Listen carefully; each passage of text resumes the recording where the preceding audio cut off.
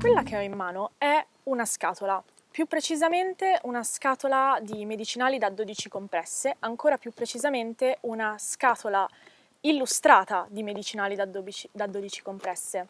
Questa è l'ultima fatica di Alessandro Baronciani, autore già affermato che torna all'autoproduzione con questo uh, fumetto in scatola.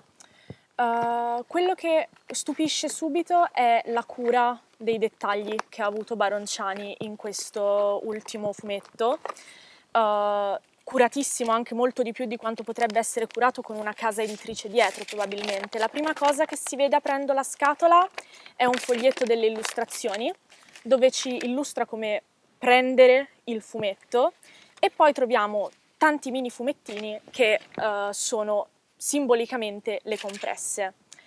Di cosa parla Monocherostina? Uh, parla di una ragazza e del suo unicorno. Uh, è un racconto onirico, è un racconto che, dove non si distingue la realtà dal sogno, uh, che si può leggere in più modi, non c'è un ordine di lettura preciso, come non c'è un ordine preciso di, per prendere un medicinale in un certo senso.